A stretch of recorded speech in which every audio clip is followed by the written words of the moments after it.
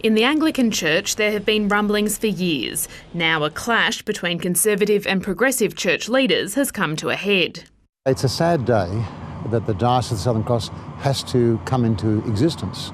Anglican bishops concerned about the direction of the church have created a breakaway group, the Diocese of the Southern Cross.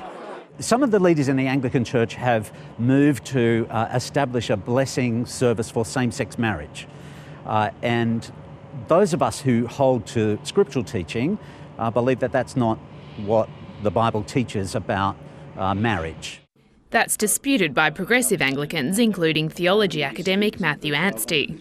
We believe we're being entirely faithful to Scripture and to, and to God, and that our faith in it is genuine and authentic. Within Australia, Anglicans are in conflict over this question as to what we should do in relation to uh, sexual relationships um, and relationships generally outside of the covenant of marriage.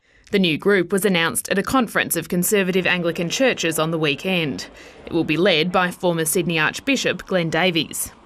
The revisionist teaching of leaders around, well, in certain parts of the country have forced this situation.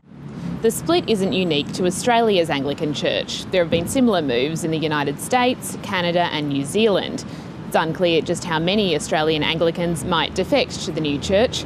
So far, there's one minister and congregation in Queensland. One of the questions is will we, though, one day become like the, Ameri- like the USA, where there's two separate Anglican churches?